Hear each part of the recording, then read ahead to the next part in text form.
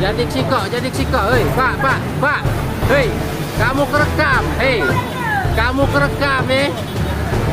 Kamu kerekam. Tidak, iya. Dompetnya cuma kerja KTP. Ya, dompetnya. Ini KTP-nya.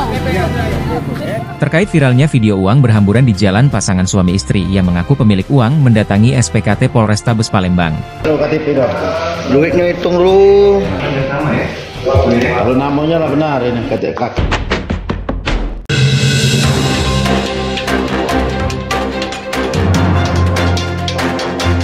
Palembang Baru TV. Kami Lukas.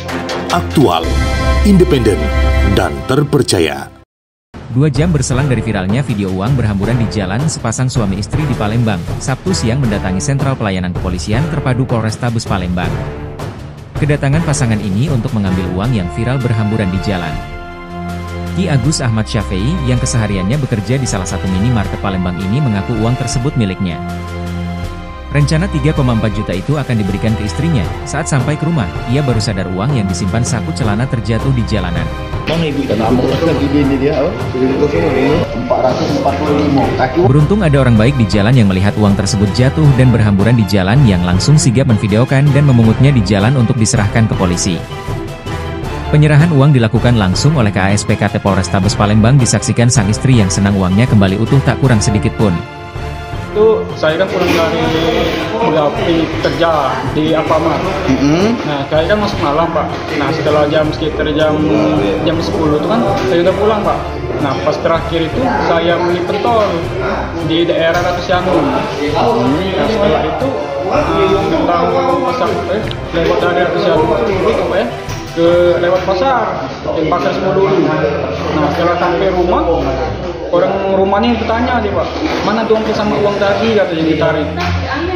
Nah jadi pas di ini apa dicek nggak ada pak dari dompetnya dari kantong. Campak di jalan kan. Terima kasih kalau untuk yang nemuinya. Nah, Ini awal itu tahu uangnya di SPKT ini gimana nih ceritanya? nah, ceritanya saya pas di rumah itu ada RT datang di tiga tiga empat dulu. Nah, RT-nya siapa nama? RT Ya boleh tuh. Apa kata Pak RT, Bu RT? kata Bu RT itu di, di telepon dari sekta. Katanya kenal nggak dengan Ki Agus? Nah rumah dia pak. Setelah di rumah langsung di- disuruh ke sekta Sebelumnya pada Sabtu pagi beredar video uang jutaan berhamburan di jalan dan sempat akan diambil oleh warga. Kejadian ini terjadi di Jalan Gubernur Haji Bastari tepatnya di depan kampus Sukabe Pangkal Jembatan Ampera Palembang.